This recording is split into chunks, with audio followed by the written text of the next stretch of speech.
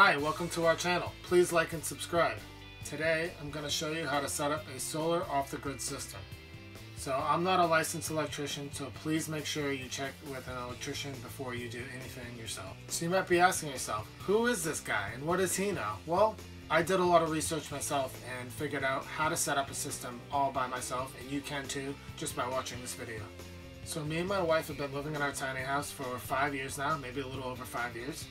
And we have been off the grid or partially off the grid for um, a lot of the time, 90% of the time. The only time the power mains power kicks in is if our batteries get to detrimental low, which has happened maybe a couple times. We set up our tiny house to be fully off the grid because we were going to be in a situation. We were in the middle of a sheep paddock with no power, uh, and we knew we were going to need a way to have sufficient power to run lights, TV, uh, internet, all that stuff in a house that you need power for in New Zealand, uh, electricity is very expensive, and so it was just another bonus that we could be off the grid and still have lights on when nobody else did if the power went out.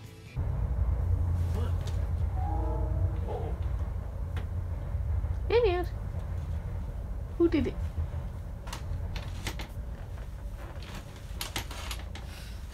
So now I'm going to run through on the whiteboard some ideas and stuff to help you decide if off the grid living is for you. And I'm also going to show you how our system is set up as well.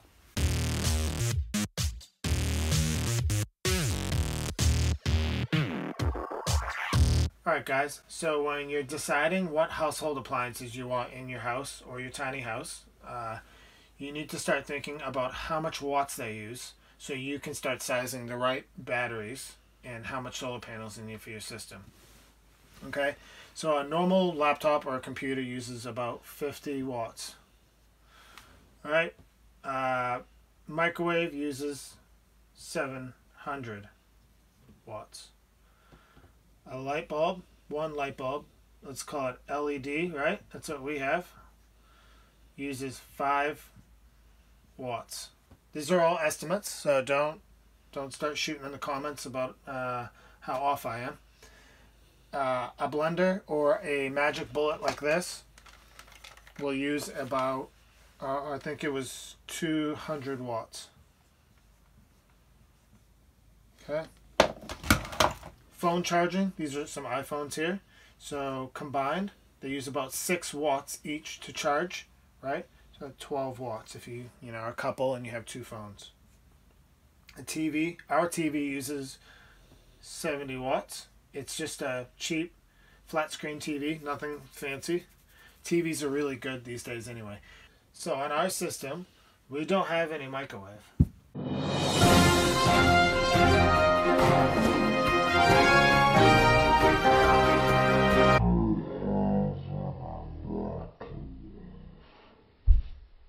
don't have any microwave.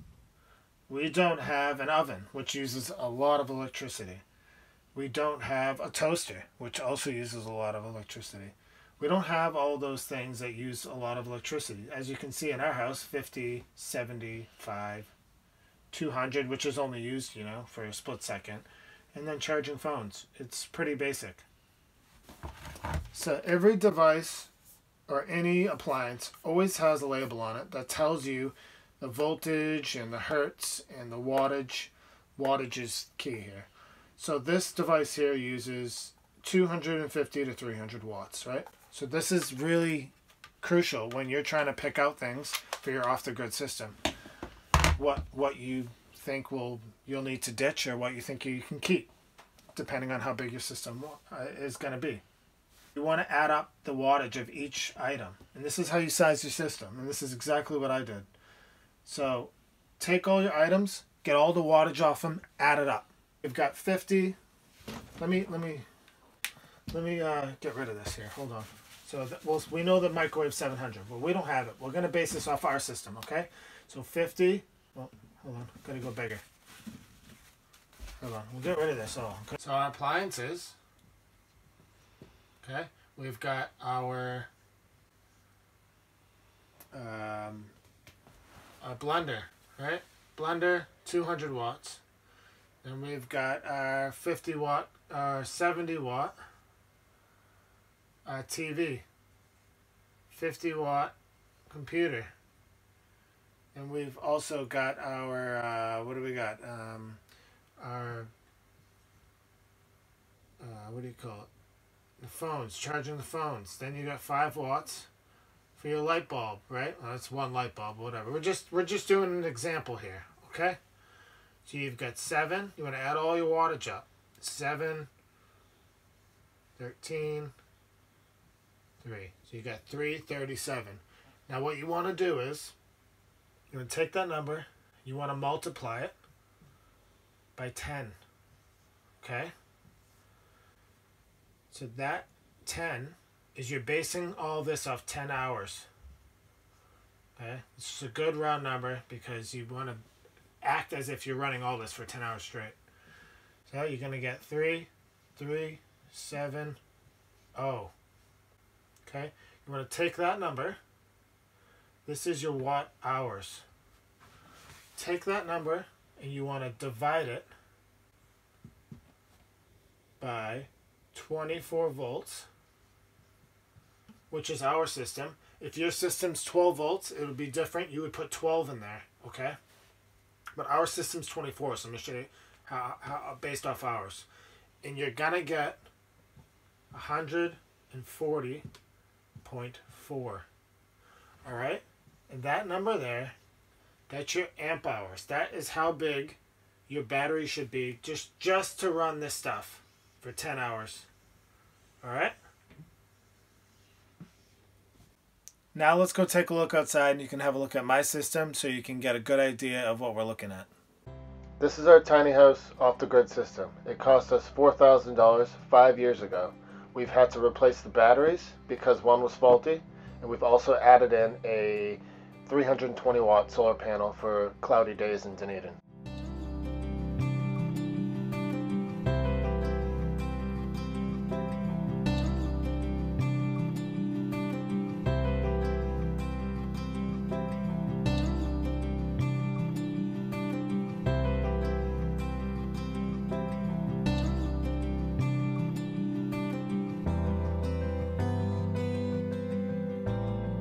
Alright, so I'll give you a brief rundown of how this is set up. So over here, we have our solar controller for the single panel that we've uh, did add in later. And these are the cables coming from the panels. And these are the cables going to the batteries.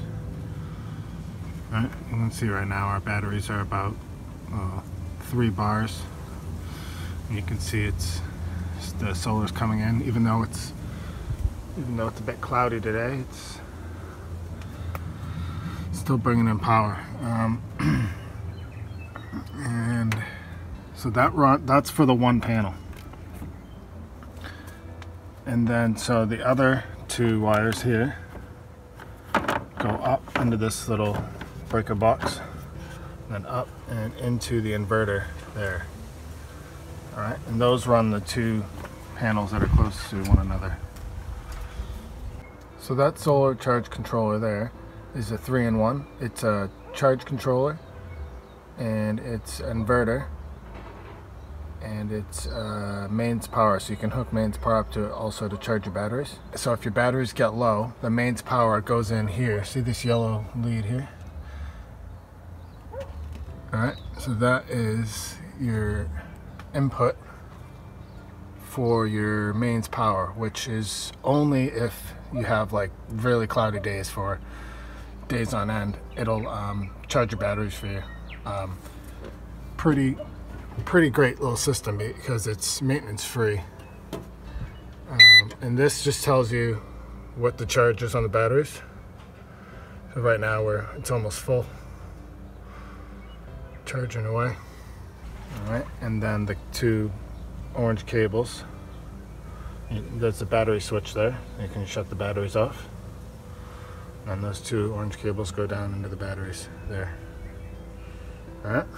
Mm, the batteries are underneath that box there, which I'll show you. Up here, that is the mains power coming from the inverter to this box here, which is 240 volts, and then into that plug outlet, which goes into the house and has there's multiple plug outlets in the house. So I've uncovered the batteries and we have two 230 amp hour 12 volt batteries. Our batteries are joined in series to create a 24 volt system. So our LPG runs the hot water heater and our cooktop in our kitchen.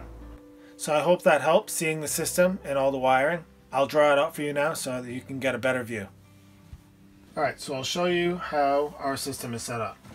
We have our two panels. We have our big panel, 320 watts. These two are 270 watts. So from here, these two connect and they go to our inverter. Alright? And this is also, it's a 3-in-1 inverter, charge controller, and mains power. And this one has its own controller. Yeah. And it's 20 amps. This is 25 amps. Okay. So down here, these this goes to the batteries. We have two batteries here. Huh? Positive, minus. Positive, minus. Right, so our systems run in series. Okay, so these two will loop, positive and negative. And what will happen is these two will loop, positive to negative. Okay, and then what you're going to do is you're going to connect your terminal under the negative there. You're going to have another cable that goes to the positive. Same here. Positive, negative. Okay? And we've added a little fuse here on ours as well, off the inverter um, controller. Um, so this cable, any cable coming off the bottom of the inverters or the controllers is all, this is all thick gauge cable which is I used welding cable. So all this cable here is all done with welding cable. So here, down here, back to the batteries, we got 12 volt battery, 12 volt battery, right? And they're running series, which equals 24 volt system. Okay? All right. So if that all makes sense, we'll move on. So from the inverter, you have let's see, let's draw a house. Okay. Here's your house. That has a plug point here.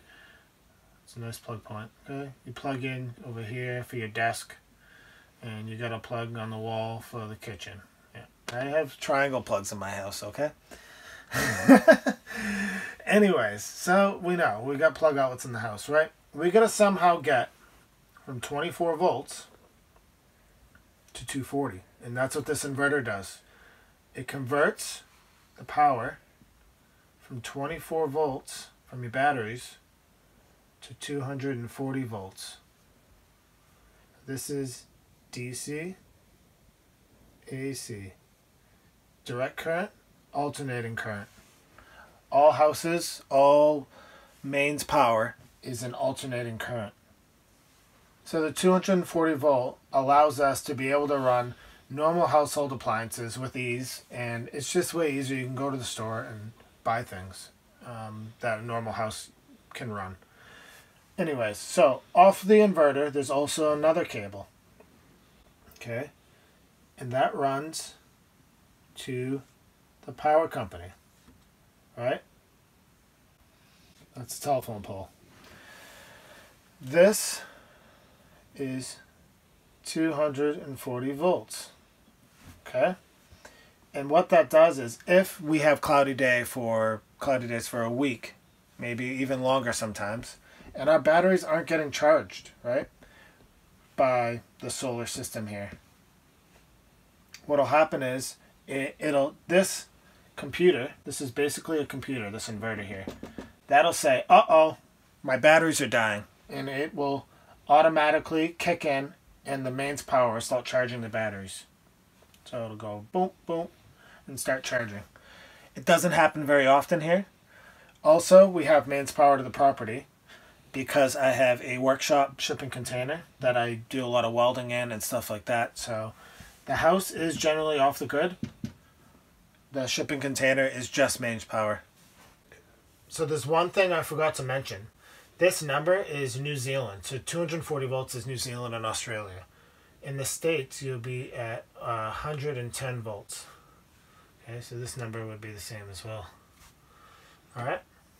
So another thing to keep in mind is your solar panels.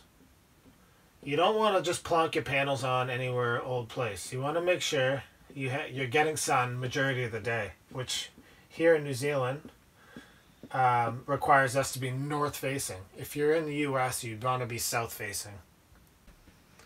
There's also different types of solar panels you can buy.